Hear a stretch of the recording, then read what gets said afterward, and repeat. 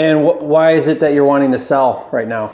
Why, why does everybody ask that question? I just don't want to have a bunch of houses anymore. I'm, I'm tired of being a landlord. I'm getting ready to retire and I want to sell. Why does it make a difference to you why I want to sell? Because it helps me understand if there's something else going on that I should know about. Oh, the roof is caving in, the basement's leaking, the tenant No, hasn't paid in nine months. that, Well, that. that's We- that's why somebody would ask you that question. So that's all. Just what is there something going on, and that's the reason why you're selling, or is it just because you don't want it anymore? I don't really care. I'm just trying to understand why we're No, talking. it's because I I do not want to be in the landlord business anymore. Okay. I work I work full time. I'm old, but I still work full time, and I'm sick and tired of managing houses too. Now that told me I wasn't the first cash buyer she's spoken to. Now clearly this woman has a wall up. She does not trust me. This is an opportunity for me to try and make her feel comfortable.